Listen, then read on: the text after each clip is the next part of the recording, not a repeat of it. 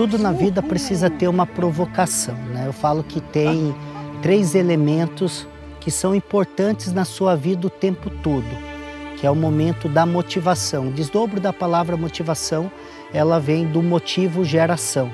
Você precisa ter um grande motivo, você precisa ter clareza no seu destino.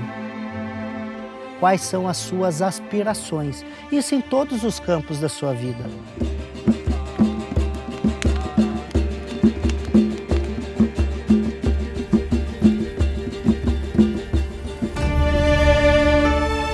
Você está vivendo a pessoa que você gostaria de ser? Eu aprendi no Japão que você precisa ser melhor do que ontem e pode ser amanhã melhor do que hoje. O eu melhor a cada dia.